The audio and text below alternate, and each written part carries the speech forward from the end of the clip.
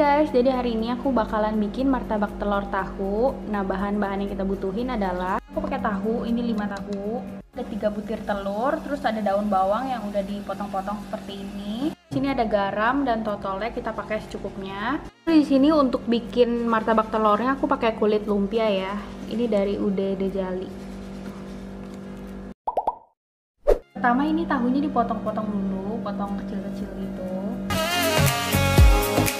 setelah dipotong-potong bentuknya dadu-dadu gitu ya. Selanjutnya kita hancurin di sini aku pakai garpu aja. Jadi kita hancurin ngasal gitu ya karena makannya itu lebih enak kalau misalnya tahunya tuh hancur. Kalau hancur gini tuh makannya lebih nyatu gitu loh sama telurnya. Tapi kalau misalnya kalian punya daging sapi itu lebih enak lagi sih. Cuman karena aku nggak ada jadi aku nggak pakai daging sapi.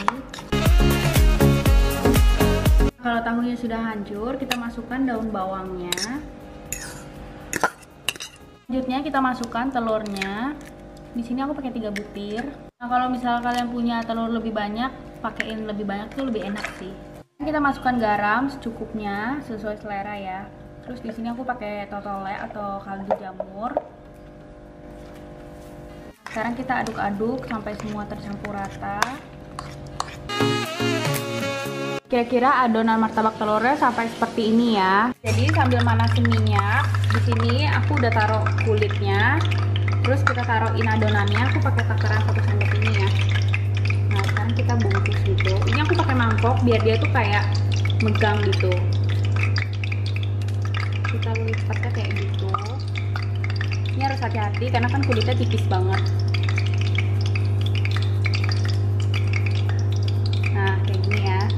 Sekarang tinggal kita pindahin ya ini hati-hati banget. Tinggal kita tunggu sampai dia itu matang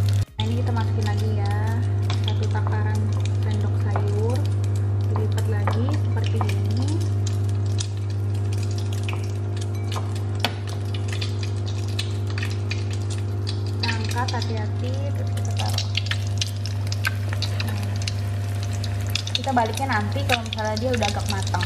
Nah ini aku bakal lakuin lagi ya ke semuanya. Jadi sama caranya kayak tadi. Dilipat lagi. Dibentuk kotak gitu intinya.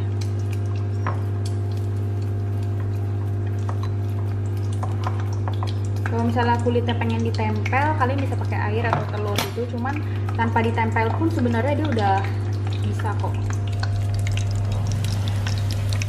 ini sekarang kita tusuk dalamnya biar matang ini yang pertama ya. Biar matang emang harus ditusuk. Kurang lebih seperti ini ya. Kita balik karena udah agak kecoklatan udah matang yang bagian bawahnya. Sama seperti yang pertama kita tusuk-tusuk lagi biar matang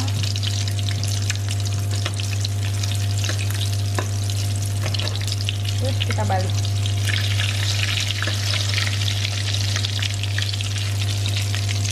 Kita lakuin hal yang sama ya pokoknya nah ini kalian bisa lihat ya dia tuh kotak cantik banget bentuknya.